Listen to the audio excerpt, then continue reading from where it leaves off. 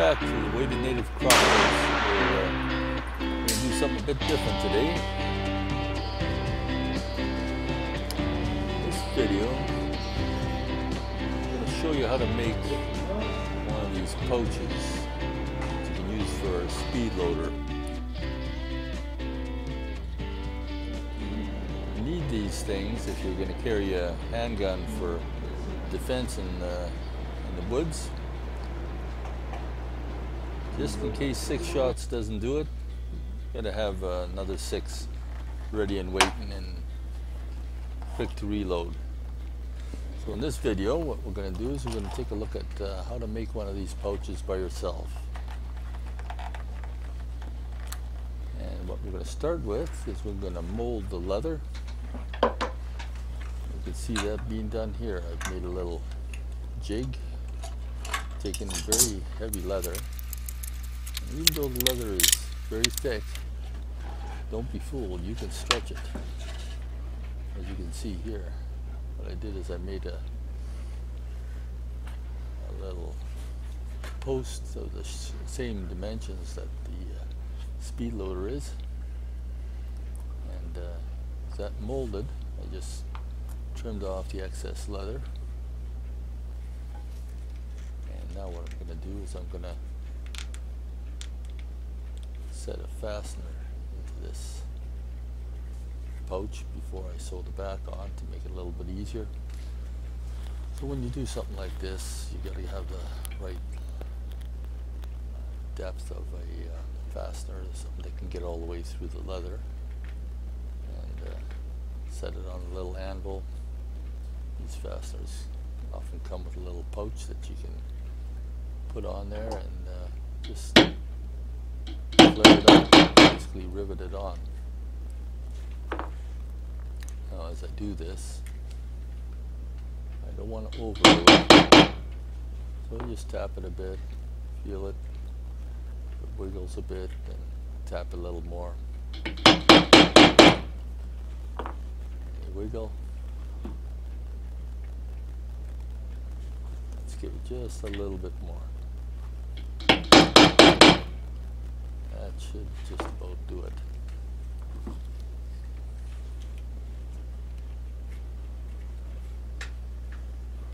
And there's one half of the fastener nicely attached. So next step, I'm going to have to sew the backing onto this newly formed pouch and uh, in order to sew it.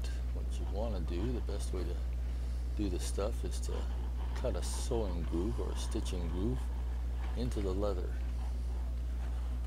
Using a special kind of scribe here. And uh, it does a very nice job. It just uh, the right edge follows the edge of the leather. And the inside cutter just cuts a nice little groove. Taking off a nice curl of leather and what I find I usually have to do is I do it about, make it about three passes. That way it's deep enough for the stitching to lie under the surface of the uh, leather and it doesn't wear off or abrasion. I got that part done. I'm going to do the backing part as well. And again, I just use that tool, just follow along the edges. It's actually quite fun. We'll just speed it up a little bit here. Uh, two passes. Uh, do three passes. And that should be about deep enough.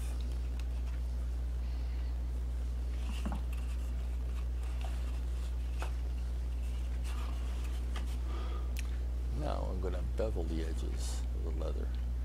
I've got another little tool that's specially made for that. It's nice and sharp. Run along that that edge there and just bevel it off a little bit. This is in preparation for burnishing the edge of the leather. You'll see that after this is done, so we'll just kind of speed this up a little bit. And we'll do this one too. This is kind of like carving.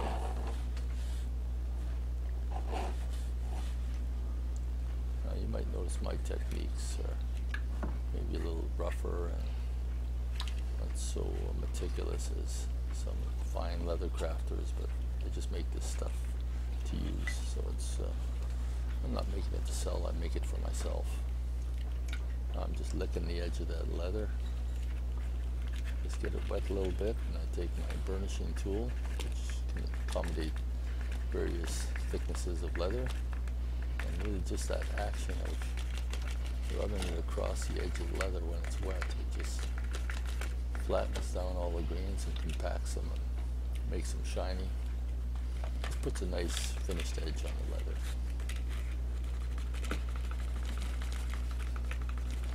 So we'll just speed this up a little bit, get this job done.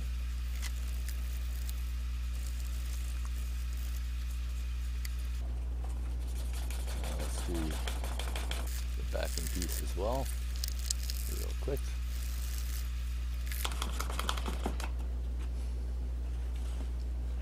Everything is nicely finished off, ready to do the stitching next. Let's take a look at this, make sure everything fits the way you expect it to. The grooves are cut in for the stitching, the edges are burnished. Now we can make our holes. And what I use is uh, one of these cutting forks, and I just pound it in with a hammer on top of a piece of wood. And get it. Nice little diamond cuts right through the leather. Pull that tool out each time. It's know, it's a little bit slow. Does a nice job, gives you very evenly spaced stitch holes. As I, this is a multi-pronged fork that I'm using. So as I get near the bend, you'll notice I'm going to switch to a two two-prong one. It's actually a used to be a multi-prong one that had some of the forks break off, so it's kind of handy for doing the curves now. So. And once I get into the straight stretch, then we go back to the more efficient uh, multi-prong fork. Pound this last one in here.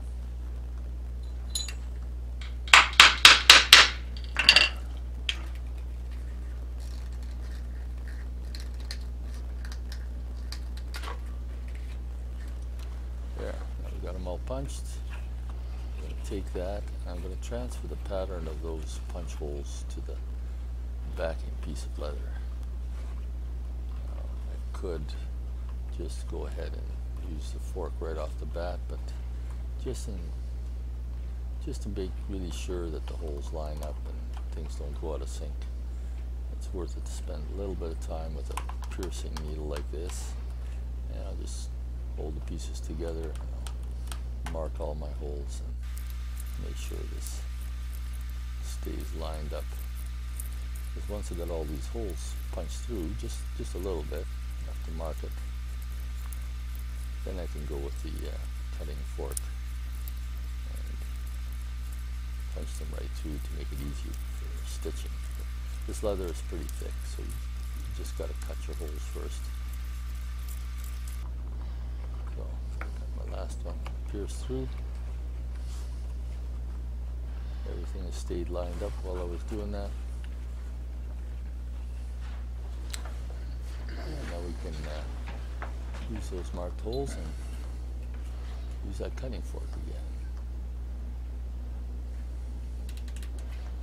Uh, in this case, because I have that that belt loop piece on the back, I have to kind of get pound the fork through just on the edge there. So it's a little bit awkward, but no big deal. Maybe I could have done this first before putting loop on the back in retrospect. But we manage.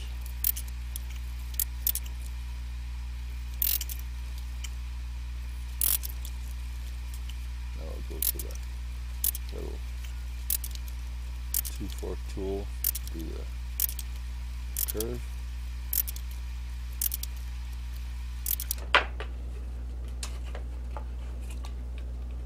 It's all punched out. Sync with the piece that goes above it.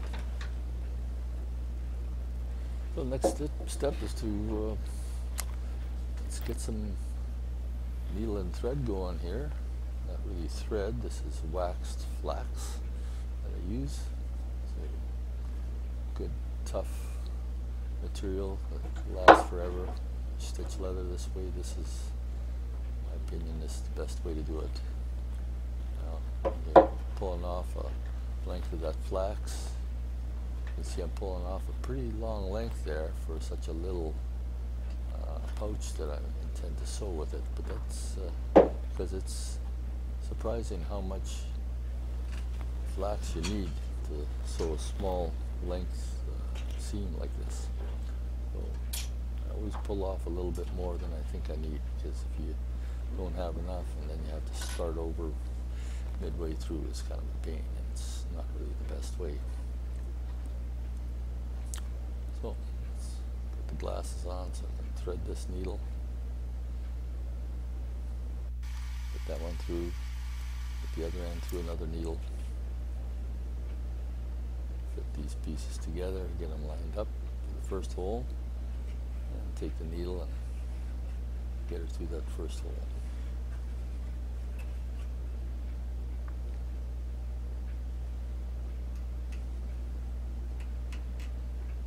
And the needles push through nice and easy because the holes have been cut with that, that fork chisel. Start off by getting both lengths the same. And then it's basically uh, what I call just a figure eight pattern. It's probably a more correct term for it, but I just take one needle, run it through one way, then I take the other needle and run it through the other way through the same hole that, that the previous needle just went through.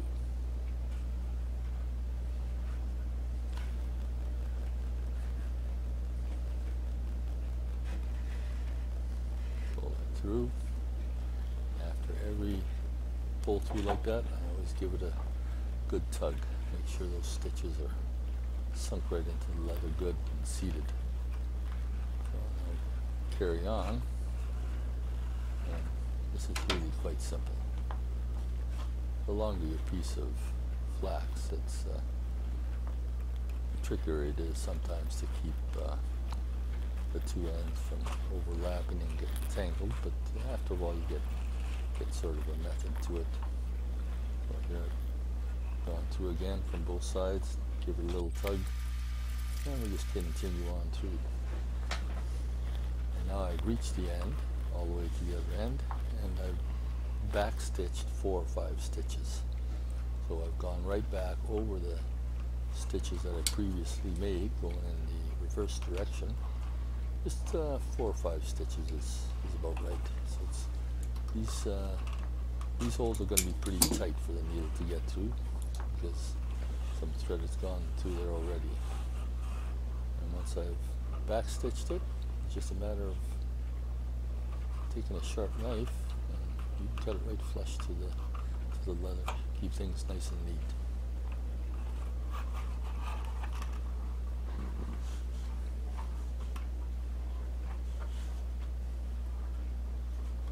Make sure you don't slip with that knife and make a cut in the leather. Don't ask me how I know that. So there we got the pouch nicely stitched to its backing. The Edges are burnished, everything is nice and neat. At least uh, neat according to my standards. And let's take this speed loader and give her a little test fit in here, make sure everything is going as expected. And it's just a perfect fit. Nice and snug, not too hard, not too loose. Came from making that molding plug the right size to begin with. So what I'm going to do next is I've got to figure out where to make that hole to the flap to place the other half of the fastener. I'll look it over a little bit, see how much bend I want to get into it. get it centered a little bit. Take this wax pencil mark it across where it should be, down the line where it should be.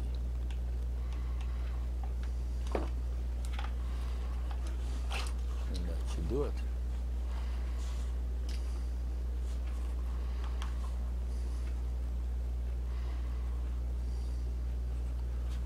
So now that we have the location marked, just take punch. You don't want to use too big of a punch when you make the holes for these uh, fasteners. So the fastener stem should go through there tight. You wiggling around there to lose strength in it. You just pound through one way and then through the other way just to make sure everything is clean. There we have it.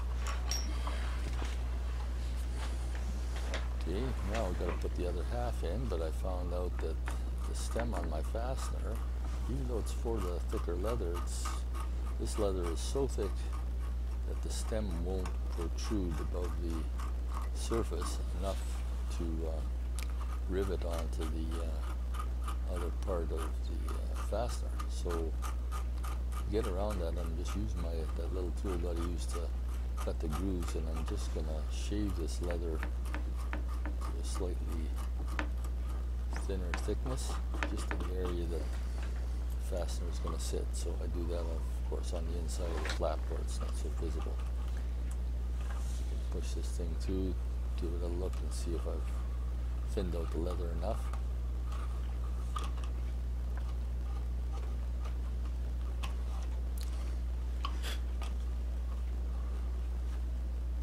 Put that little anvil underneath there.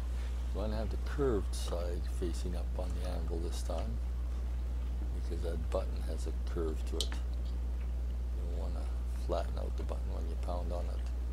And I'll place the uh, other half on there. Punch in place. Let's flatten her down a bit.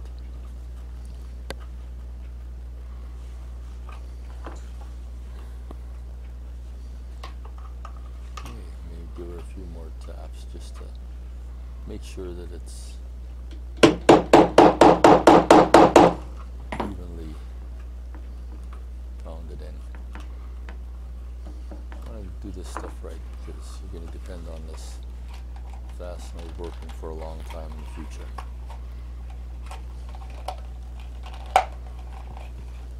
There we go. That seems to work nice. Test it with the speed loader in there. Make sure it all fits properly. Okay, so we're good to go here. Now what to do next? We're gonna, I've left this till the end because I want to make sure all this stuff is in place so that when I cut off the excess leather, I can kind of even things out things are a little bit off center or something like that. Made my uh, drawing of the uh, cut lines and place it on my cutting table and with a sharp knife just go around it. It's uh, you don't want to press too hard with your knife.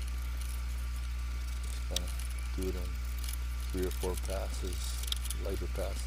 You can that way it's uh, easier to get accurate and not cut into your table too much. So there we got that. Cut off some of the fuzz there. It's looking nice.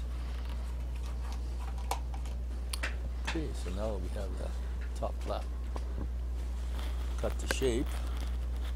Let's do some edging and burnishing on this thing just to finish it off. This case, I'm going to do it on inside and outside.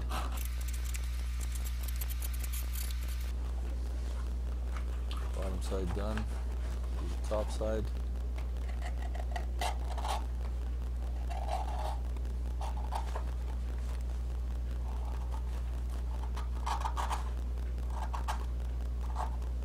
Speed this up a little bit.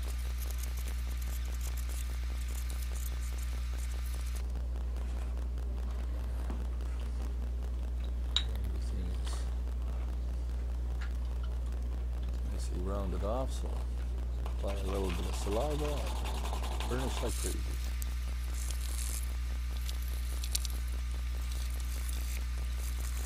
Nothing to it. Some people might use uh, wax or some oil or something like that. I just use spit. It's not the best way, I know, but it's quick and dirty. So we got things all done. Let's make sure this thing fits in uh, for the speed loader and uh, if there's any problems with it, we'll address it. But everything is good. That belt loop might be a bit on the tight side, but I can easily stretch that.